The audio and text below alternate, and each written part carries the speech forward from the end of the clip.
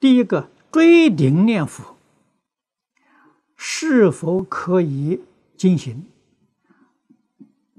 持续多长时间为宜？这是看你自己的体力，看你自己的环境。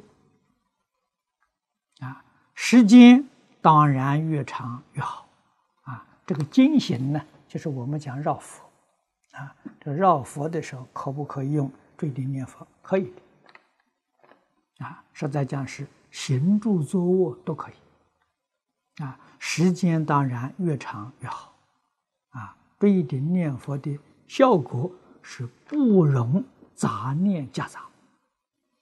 啊，过去黄念祖老居士就用这个方法，所以他一天能念十四万声佛号。